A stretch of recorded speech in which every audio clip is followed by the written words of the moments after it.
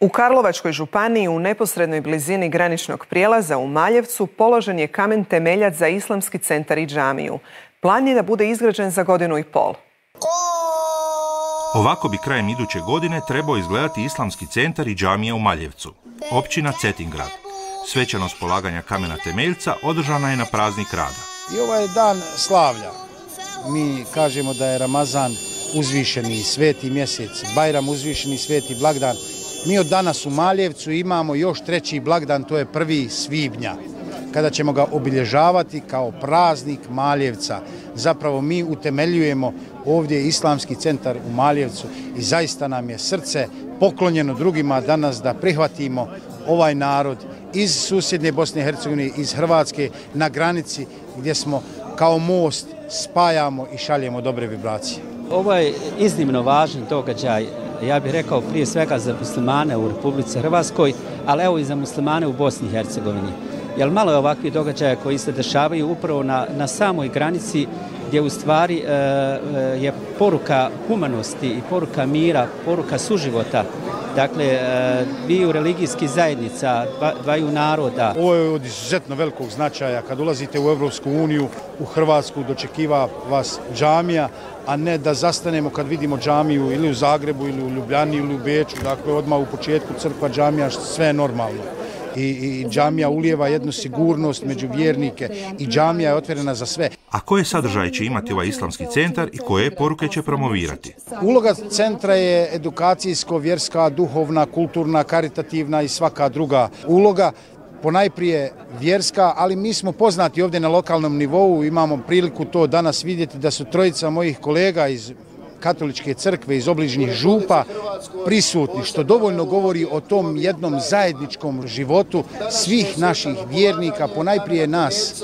koji smo uniformirani, da pošaljemo jednu sliku kako možemo ljudima kazati svi smo mi isti, svi imamo iste probleme i imamo zajedničku budućnost.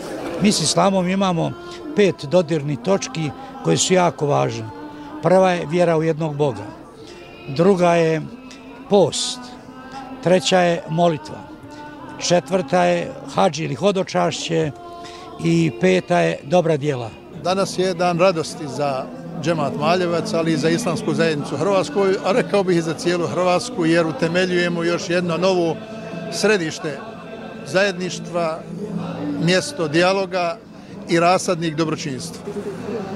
To svaka džamija ima u svojoj biti jedno okupljalište koje može doprinijeti razvitku općeg dobra i poticanju i inspiracija za dobročinstvo u budućnosti.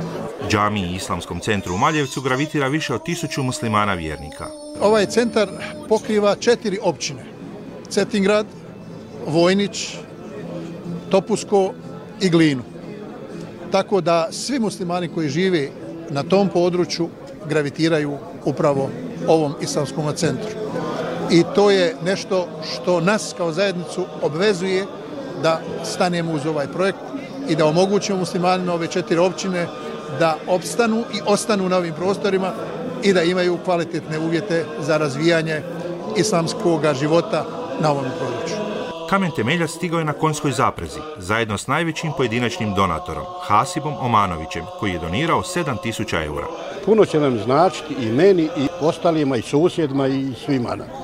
Jer smo to želili već dugo godina i evo, hvala Bogu, e, Bog dao pa da je došlo do toga da se to ovaj ostvari.